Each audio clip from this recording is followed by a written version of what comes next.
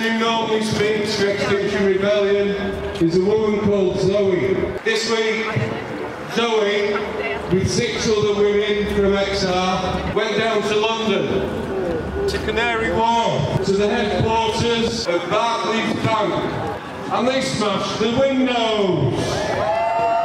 It's not that they like smashing glass. The truth of the matter is that the cornerstone of our system is the private banks.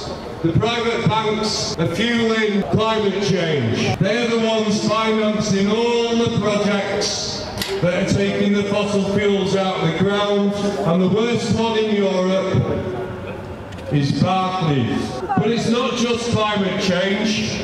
Private banks are the reason why most of us are in debt.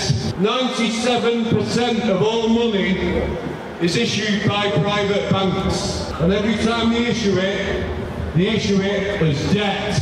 We do not control money. We need to regain control of money. And that's why XR has been targeting private banks. I'll come back to this bill now. Some of us in XR see it as a victory. XR and Black Lives Matter have brought the government and the police to breaking point. The only way that they can control the people now is to go super anti-democratic. To protest is a human right. And because they can't handle our non-violent protests, what do they do? They bring this bill in and they also investigate Extinction Rebellion and Black Lives Matter as extremist terrorist organisations.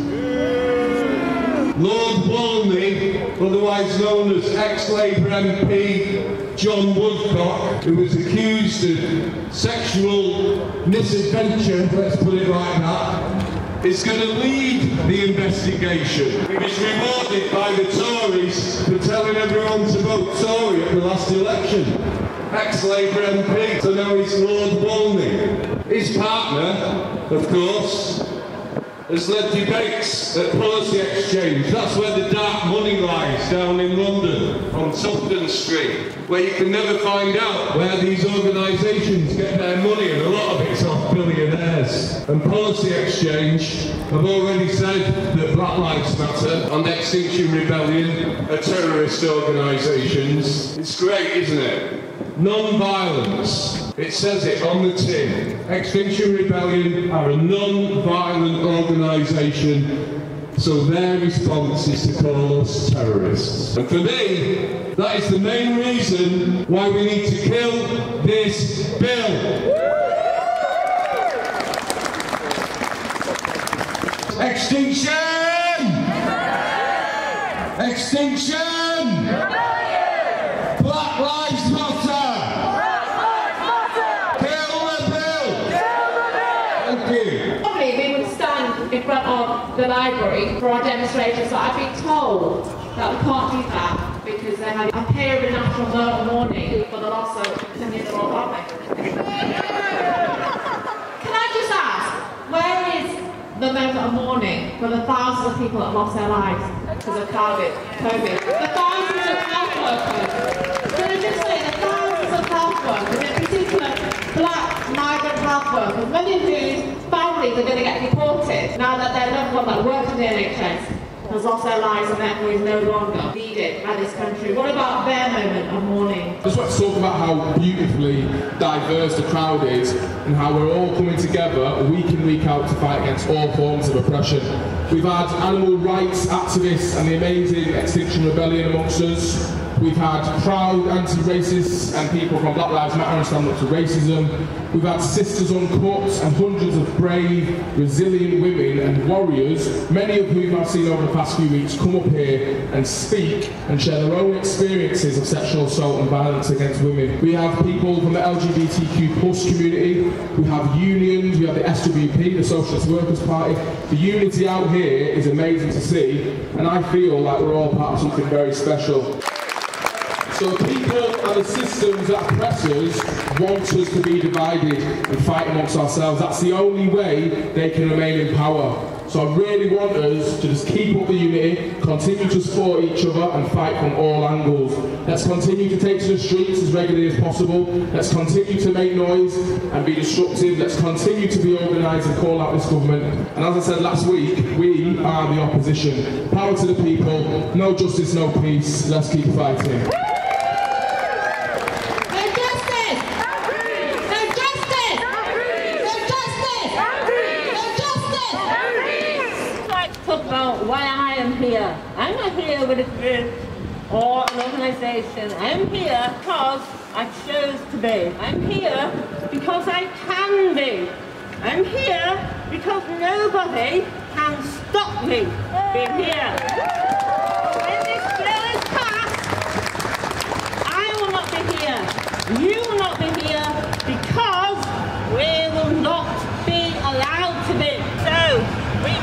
resist whatever our philosophies are, whatever group we're attached to. We are basically here for one reason. We are here because we are free. And if we are not free, it will be our own fault. We are the ones who must resist this. It is in our hands to do something about it. We cannot just stand by and think it's someone else's job.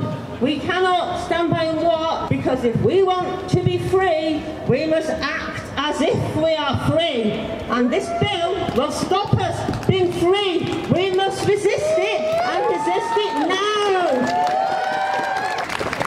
Hi, um, I'm not affiliated with any group, but I just wanted to say a little bit about trans women and the slow dissolu- dissolution of trans women's rights that we're seeing in this country at the moment. Uh, it affects all trans people, but particularly our trans feminine sisters and siblings. And I would just like you all to stand in solidarity with your trans siblings and not allow laws to be passed that will stop trans children from accessing care.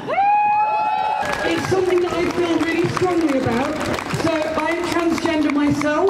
I was not allowed to start transitioning until I was an adult, and if I hadn't had that transition, I would be dead. 40% of trans children who receive the support they need still attempt suicide, but that's the same amount of everyone else. Without it, it's 80%. We are losing trans children. This is killing trans children. Children cannot consent to gender reassignment surgery.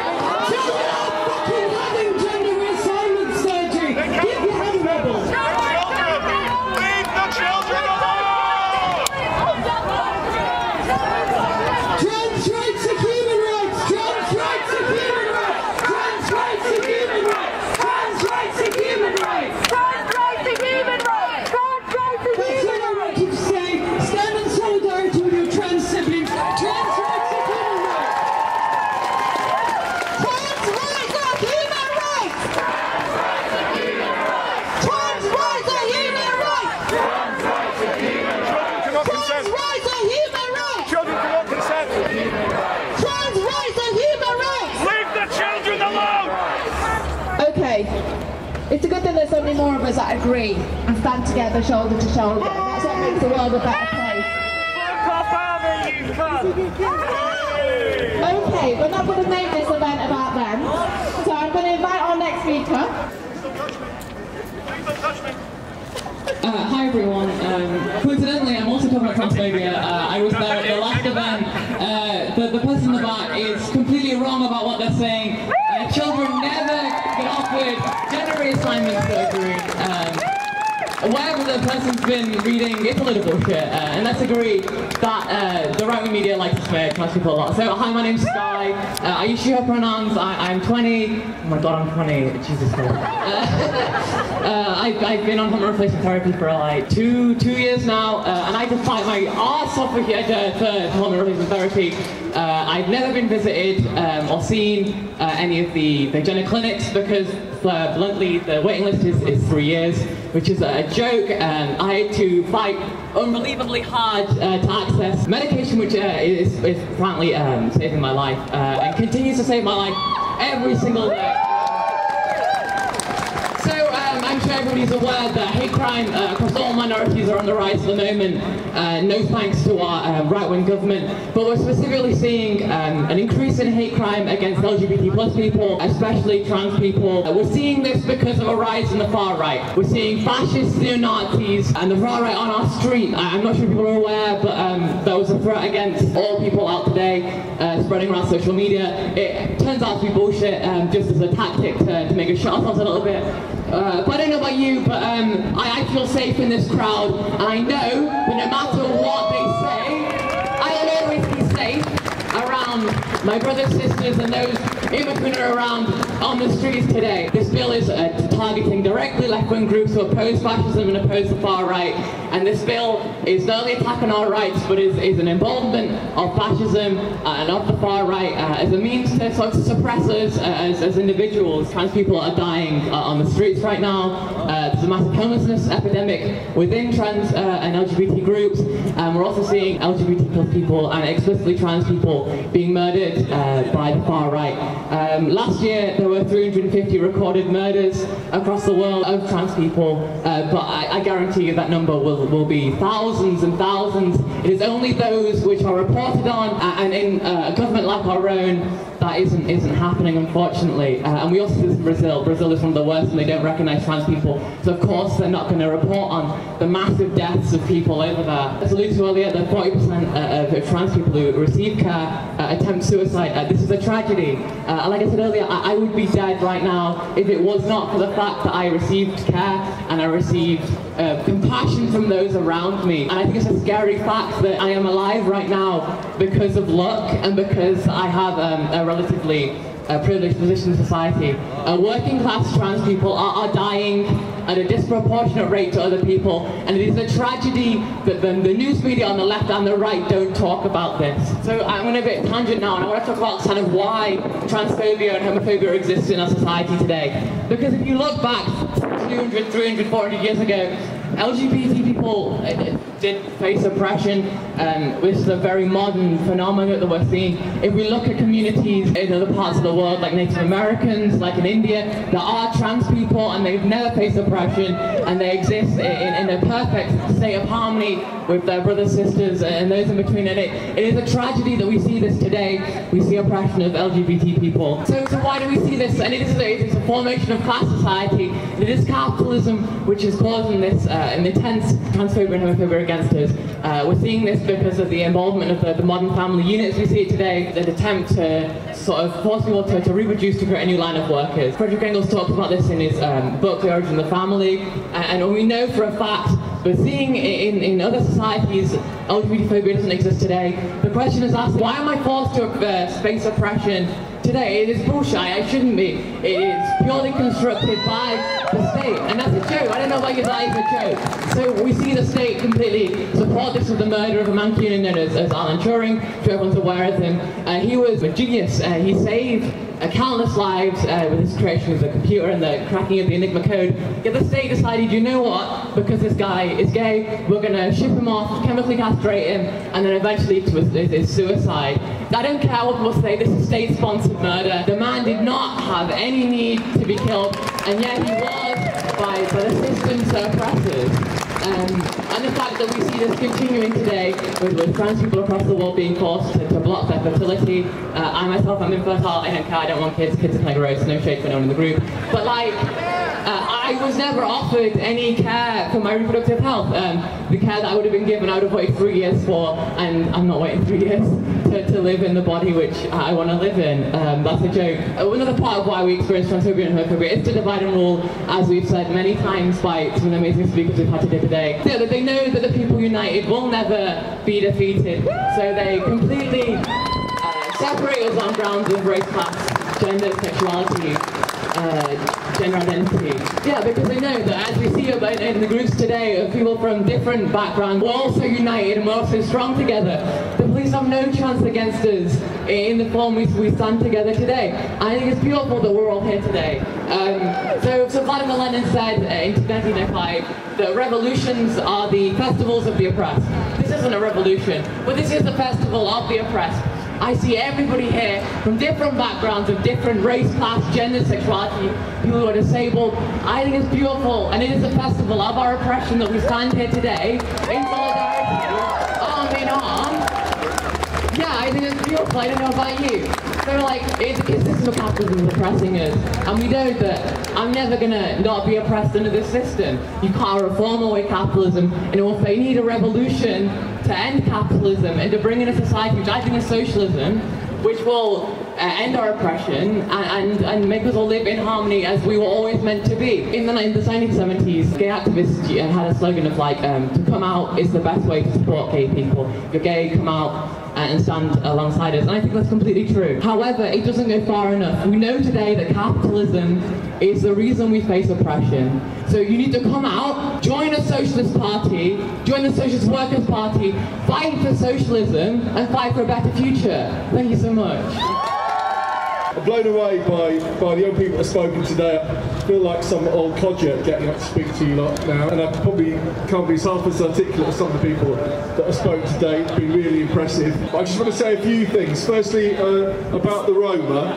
Uh, I think it's important, a little bit what Sky talked about before, about we live in a more divided world than ever. Uh, we live in a world where people like Donald Trump, although we managed to defeat him in America, still got 70 million votes of people voting for him. Bolsonaro in Brazil, Le Pen in France, uh, Orban in Hungary, a growth of far-right fascists and racists that are running the world for the interests of the rich and profitable and using divide and rule to maintain their rule.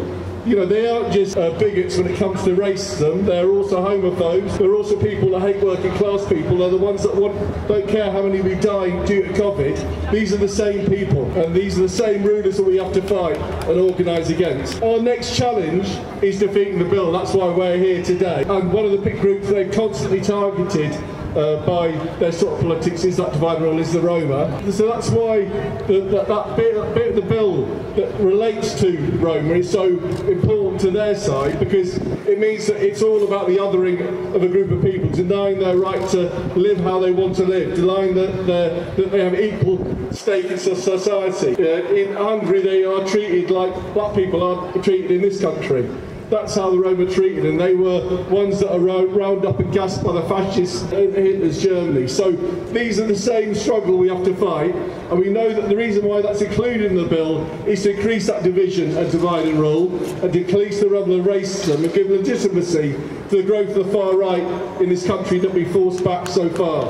So if that's what they're about, I think they've overstepped the mark this time with this bill, haven't they? Because if we wanted them to introduce a bill that brought everyone together, they've definitely managed to achieve that so far, haven't they? We have to make sure, though, that we reach out to every community, to every organisation, to every individual that stands for human rights, that watch people fight for their civil rights in America, or women fight for the right to vote in this country, or applaud what's going on in terms of fighting for democracy and rights. All of them are on our side.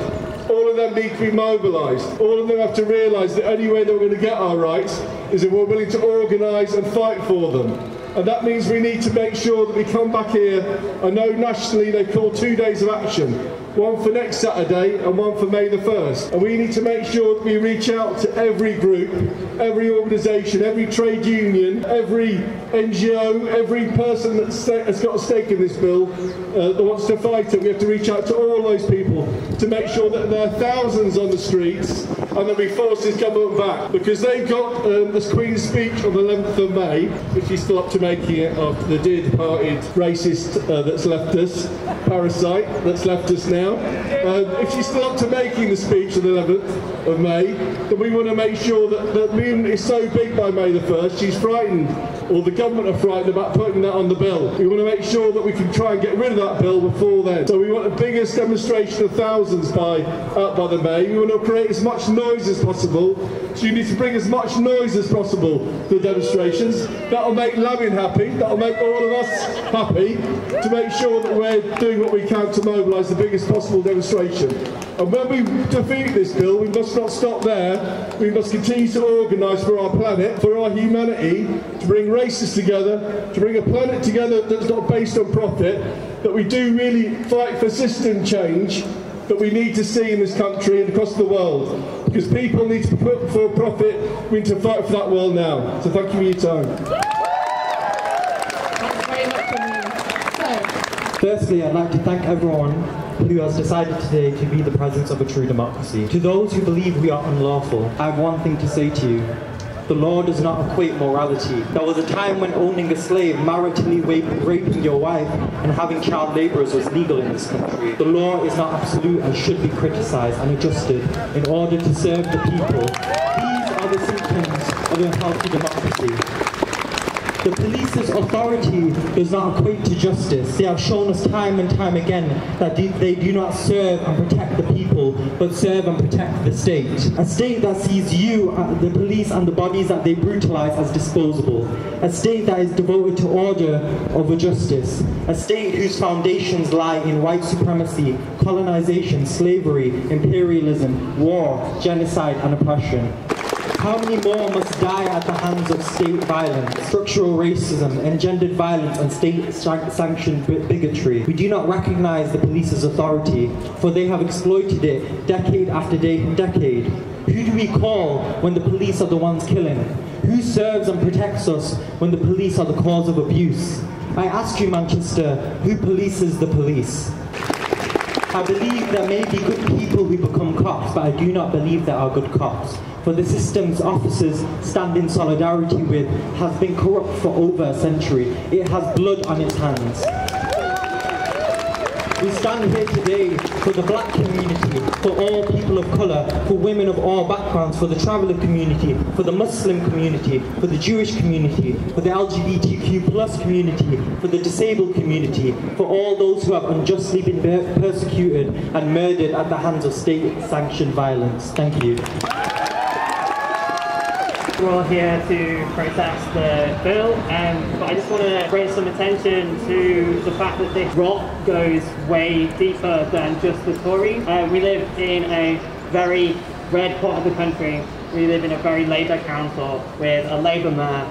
But just this week, whilst in this current climate where we're talking all the time about justice and the police, the Labour Council decided to announce the hiring of over 300 police officers to go directly inside schools throughout Greater Manchester. That money could fund uh, nearly 500 youth workers to actually work on things that actually affect students, like mental health, like exclusions, which lead people directly into a prison pipeline. And I think we just need to be very aware that this is not just the Tories, this is something that's so deep and systemic in our society and we have to rout it out. It's not okay when it's the Labour Party. We need to move beyond that factionalism and we have to recognise that as much as we have to fight this bill in every way that we can, we're probably going to lose. We need to think, what do we do then? And we need to build mutual aid, we need to work together to build communities that have been so wrecked by neoliberal politics. That's how we come forward and build a better society for each and every one here. Thank you. much everybody for coming out. I think it's absolutely fantastic that we continue to keep the pressure on. Give yourselves a massive round of applause because when you look outside this morning when you got up, and let's not forget, going to draw from this morning to Melissa, and the fact that we still came out is absolutely fantastic. And I want to say a couple of things about this bill. It's really important that we always remember the reason they have put this bill out, or they want to put this bill in law, is because they want to shut us down, because they are scared of us. Let's be very clear about this. This is This is them panicking and scared of what happened last year when we had the Black Lives Matter movement. This is about the fact that XR were able to bring London to a standstill. This is about them trying to fight back. Well, we're not going to let them. Let's never forget that. There is always more of us. We are standing together. We are stronger. We are more. And we are united. Let's never forget that. The one thing I know every time I come to these events is we are getting stronger. We are getting bigger. We are growing as a movement. Every time I young people get up to speak that have never spoken before, it reminds me that actually that is the growth of our movement and that is something that we're going to continue to celebrate. See you all next week. Thank you very much.